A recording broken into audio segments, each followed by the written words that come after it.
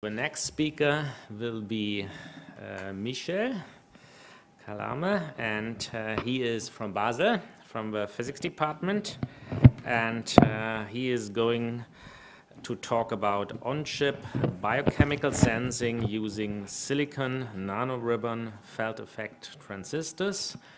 And I'm really happy that we have done already half of our job because we start now with the second half of the presentations of this uh, very long session. So, Michel, the floor is yours. Thank you very much, Bert, for also for the occasion to be here today, and thank you for managing to survive at least until the first half and continuing still being here. Uh, I'm at the physics department of the University of Basel, and I'm also at the Swiss Nanoscience Institute. Uh, and we are interested essentially in uh, biosensing devices based on electronics. So it's a bit of switching gear, but as you say, we move towards electrons slowly now.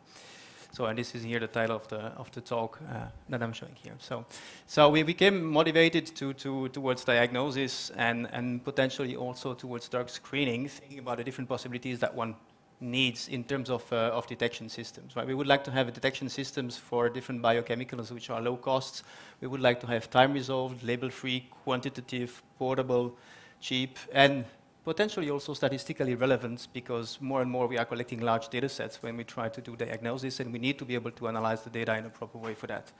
So um, uh, ideally, we would like to simplify point of care, point of prescription, and possibly also home diagnostics to start to build this kind of vision devices. And there are some initiatives which are existing, as you know, already now, trying to integrate all the electronics and the sensing and try to get the, uh, the information from only one droplet of blood, for instance. So this is a tendency which is developing at the moment, and a good, very good candidate to try to implement such systems would be silicon-based biochemical sensors. And essentially, silicon technology, as we all know, is uh, at large scale industrial today. Uh, we can achieve a high integration. And since, I would say, pretty much 10 years, silicon nanoribbons and nanowires been, have been heavily investigated, in, uh, in particular on, uh, on top-down approaches and high integrative approaches to try to, to make this kind of, uh, of devices here, trying to detect different types of biochemicals here. So we try to transduce here the biochemical reactions into electrical signals, and this is the key point. Maybe one of the most prominent examples in the last years of such a system has been this implementation here on chip of the detection uh, of the DNA sequencing based by the ion torrent technology, uh, which was published in this paper here in 2011. Uh, the, the, this has been bought now by Thermo Fisher, but essentially that was going back to this 1,000 uh, US dollar uh, genome sequencing thanks to integration on silicon chips, right? So this is, this is one of example of, of how silicon can also help us to, to detecting. In this case, what was detected was pH changes, right? So this is the only thing that the silicon device in this case is detection is detecting. So let me show you briefly the kind of devices which we are using and how these guys are working. So here we have the different contacts of our, the two contacts of our uh, transistor. Uh, here is the channel which will conduct the, the, charges. We have a gate oxide which is uh, protecting the top surface, and we have an analytes or different analytes which are floating in solution, and we control the potential of the solution here with an additional gate electrode. So what you see here is the conductance versus the gate voltage. So this uh, reference voltage here, which we apply here, and this is the typical kind of signal which we observe when we are measuring the transport properties of these uh, FETs in this case here.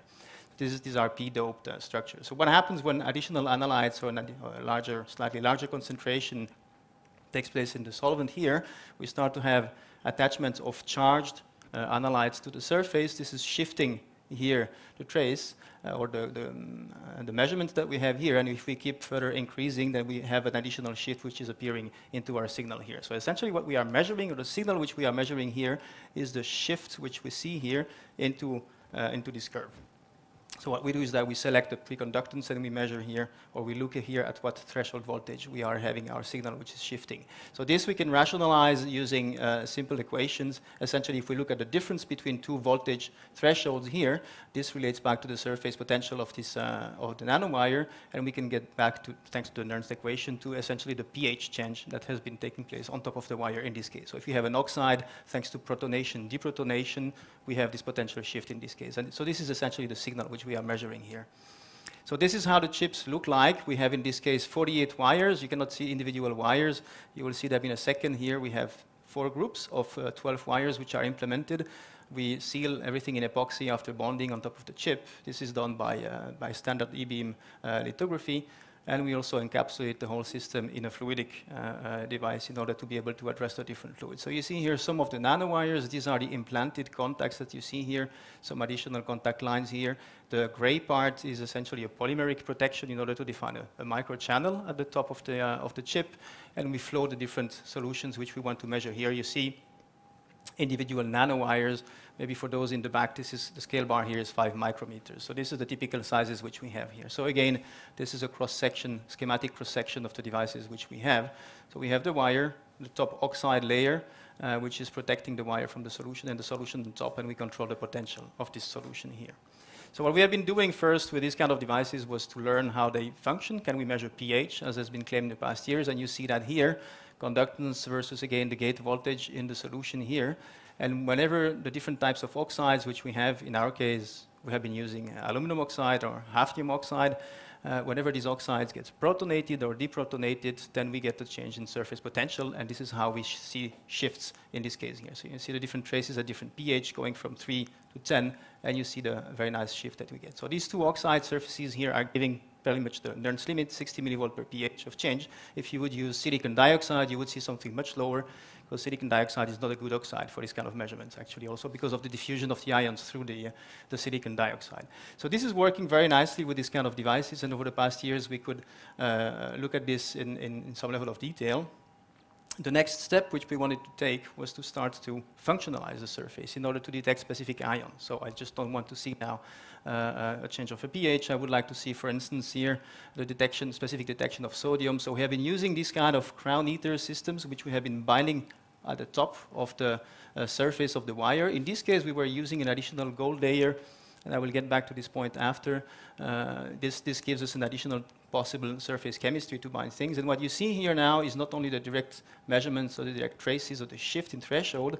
What we have been doing here is to measure a wire which had this molecule functionalized at the top of the wire as compared to a wire that did not have that molecule. And we subtract both signals. That's why I call here a differential signal, which I get here. And you see that with that, we can be totally passive versus pH. There's no sensitivity versus pH, no dependency on KCl. Potassium was not detected in this case, but thanks to the specificity of the crown ether or relative specificity of the crown ether for sodium here, we were able to have a very good detection of sodium in this case here. So by surface functionalizing these devices, we can go to specific detection here. So those systems work well. We have been doing that for different types of ions, sodium, potassium, calcium, or fluoride as well. We have been trying surface passivation. We have been investigating signal-to-noise ratio, trying to optimize also these aspects here. One aspect which we have been working on is competition effects, and I will get back to this. When two reactions can take place at the surface, it is very important to look at them in details, because the fact that two reactions can happen, they will influence each other, and you will not be able to detect properly the analytes that you want to, to detect. I'll get back to this in one second. So the true question somehow, which is uh, happening here with these kind of wires, is can we then go one step beyond and detect relevant biomarkers in a quantitative way? Because this has been done in the past. People have been doing uh, measurements of proteins, but if we look back at the literature, essentially the systems that have been addressed here in a quantitative way were mostly biotin streptavidin, which, are, which is a great test system, but it's nothing to do with clinically relevant uh, uh, systems, right? So it is important here to try to test systems which are uh, relevant physiologically in order to see whether the nanowires could, for instance, do the job of what is done today using surface plasmon resonance. If you want to find a new drug and you want to test the affinities, systematically people use surface plasmon resonance nowadays in principle. So the advantage here could be to have slightly higher throughput for these kind of devices. So the test system, which we have been choosing in collaboration with uh, the people at the pharmacology department at the University of Basel, was FIMH, which is a bacterial uh, lectin. And uh, this, this lectin is involved in, uh, in UTI, uh, and actually the, the, colleagues have been finding that uh, by optimizing some antagonists, it was possible to have some therapeutic effects for this, for this kind of um, proper ligands in this case here. So the way they have been doing these affinity screening tests was using surface plasmon resonance in this case. So we had a very good system, or test system, to try to see if our wires could do the job here. So the, the system which we have been developing, or the chip we developed, is the following. On one wire which we have been using, we used this control uh, ligand here, in this case, which has no affinity for the FIMH protein here. And at the same time, in parallel, we have been functionalizing uh, another wire using the proper active mannose ligand to test if things would work. So we will always compare a signal, which is the signal from the active wire minus the control wire, in this case here. So this is the setup which we devised. This is again a cross-section of our system using the reference electrode. Here's the nanowire with the gold film on top uh, and the uh, functionalized surface. This is a typical characteristic of the system. We see here in a linear scale the black curve. So we position ourselves here for the system always at the working point, which is in the linear response of the system. And we have been working at actually slightly reduced ionic strength buffer in order to optimize the signal for the wires. Uh, that was an, an, aspect here just because the Debye length is a bit uh, larger in this case and we can see a bit more of the protein. So this is the basic experiment which we set up. This is, this is the response. You see here the response of the active wire that has the mannose linker, and this is the control wire. So what we see here is that we have a dependency which is very clear in terms of concentration. Maybe I should emphasize here that the goal is not to detect physiological concentrations. The goal is to detect the binding constants here, the affinities, right? So we can work at slightly larger concentration in this case to really get the full kinetics. So we, we start to see here rather fast kinetics with a not a saturation, but a change in the speed of, uh, of kinetics here. What you see for the control wire is that we have some level of non-specific adsorption, but not too large uh, in this case here. And so essentially, the wires seem to be able to detect. So we did the same experiment, or maybe before I do that, a quick, a quick mention here. So we can model that quantitatively. How do we relate the surface potential change as a function of the equilibrium dissociation constant, so we can rationalize that with this simple equation here. This is called a simple site binding model. It's maybe not so critical here. The point is that this does not depend on the type of transistor which I'm using, on the geometry of the transistor. It is totally independent. So it only depends on the surface potential, uh, psi, that I have here on top of my wire.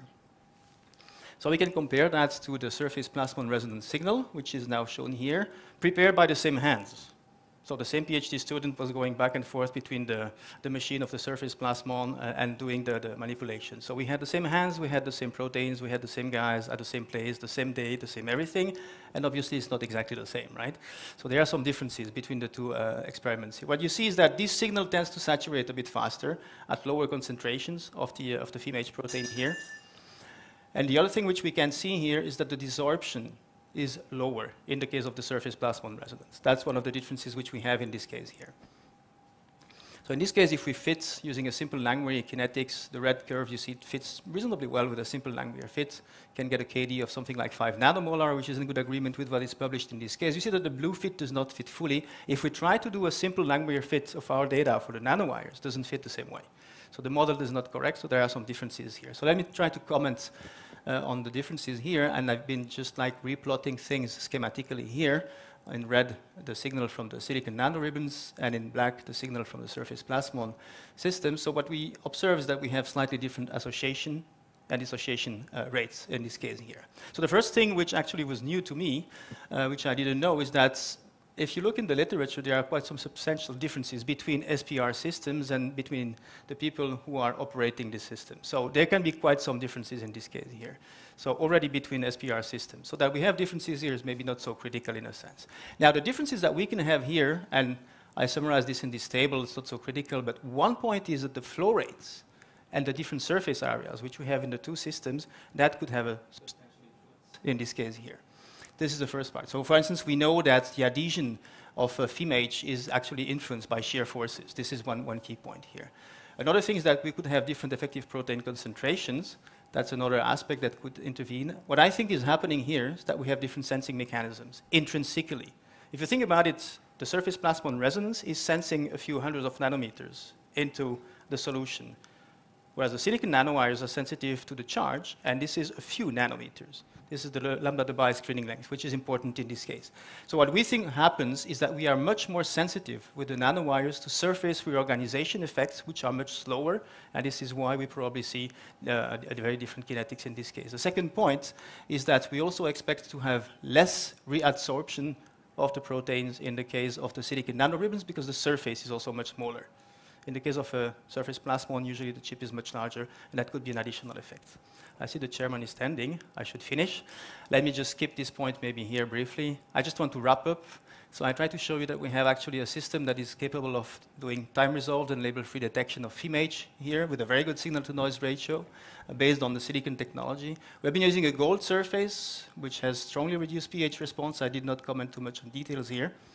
I'm happy to come back to it we have been able to make a direct comparison to, uh, to the SPR uh, system. And one, the main difference, I think, is that we have here is that we are much more sensitive to surface rearrangements in the case of the silicon nanowires. So I think this is a good tool for drug discovery.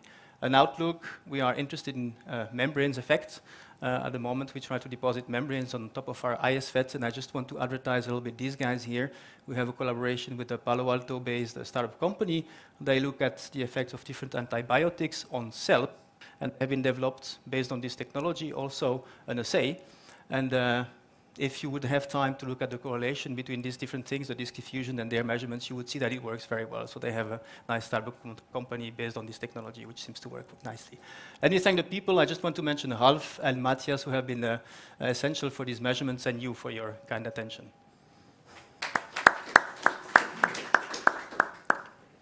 Thank you very much. I think we have time for some questions. Not the case, then maybe I can ask you a question about the noise. Uh, in one of the last slides, I have seen very significant noise. Uh, and as a physicist, yeah, this one, for example, you see where. where yeah. Uh, so large fluctuations like this would come from bubbles, which might okay. be flowing through. That typically would be the difference. Or if that trace, you would see that the black curve and the red curve are quite different. We have a few bubbles passing by in the fluidics, for instance. That would be one reason here okay. for this noise. Thank you very much. Oh, there's a question. Please. You mentioned that SPR is very cost intensive. Could you um, give some comments about this, let's say, cost potential of uh, the silicon wires? Um, well, I could invent something, but I'm not sure it would be very realistic. No, look, it's, it's uh, again, right? First, we have to demonstrate that the technology is viable. So this is the first step. Now, the point is, if you can use something that one big company, say Intel, Analog Devices, or whoever, is producing by billions, it's going to not cost much per chip. This is the key point.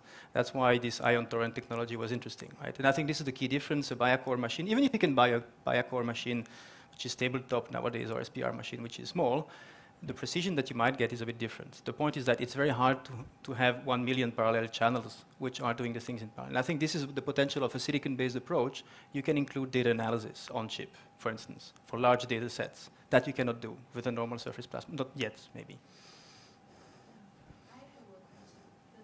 The, the site binding model is a Langmuir?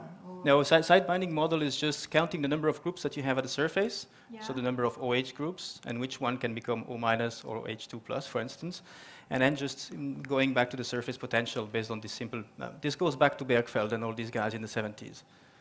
This site binding model. Site, site binding model. Just yeah. the one molecule binding to how? So we just we just look at the number of uh, active groups at the surface. Yeah. We, we count this number of groups. So essentially, in this case, you see here the response. This would be the number of surface groups, 10 to the 17 in this case, 10 to the 18 or something like this in this case here. And this is just the number of active groups which can change charge at the surface. And based on the populations of these charged or uncharged groups, we calculate the surface charge density. And from there on, we just go back to the surface potential. Oh, thank you. You're welcome. Okay, there's one question, but the real last one here in the front. Can you give a microphone, please?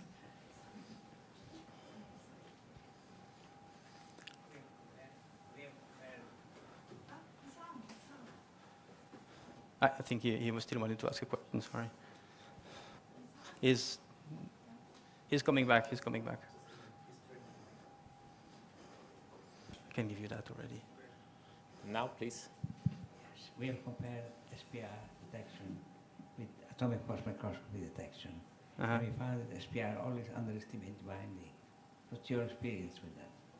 Always underestimate the binding in, in our case. Well, if, if, if I go back to what we had before, it's not so critical here, but if I go back and try to fit here, I would, using a, a very naive Langmuir kinetics, I would get a binding constant which is one to two orders of magnitude larger than what Biacore or surface plasmon resonance is giving.